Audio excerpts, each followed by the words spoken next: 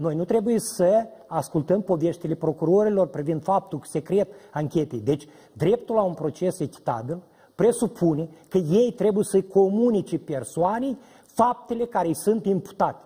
Deci noi astăzi, de la procurori, putem să cerem că ei trebuie să spună faptele concrete, care nu articole. Asta e, nu știu de ce lumea acceptă că procurorii spune, este învinuit pentru îmbogățire ilicită. Nu, el trebuie să spună, am constatat că diferența între activi și pasivi în perioada de 5 ani este un leu, un milion de lei. Nu, un leu nu merge. Nu, e clar. Eu doar La, în cazul lui Dodon e vorba de, sub, de milioane. Substanțial, da. Deci asta este. Dacă spune că e trădare de patrie, trebuie să spune pe data cu tare, la ora cu tare, a comis fapta cu tare.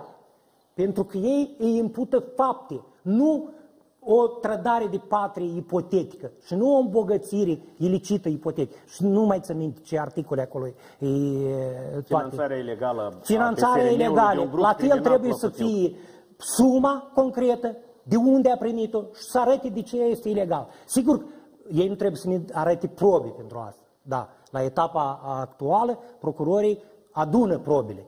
Dar în momentul în care ei vor să rețină o persoană sau să o aresteze, ei trebuie să pună. Sigur că ei se pornesc, nu știu de ce, apropo, am văzut o proastă, se pornesc cu 50 de învinuiri.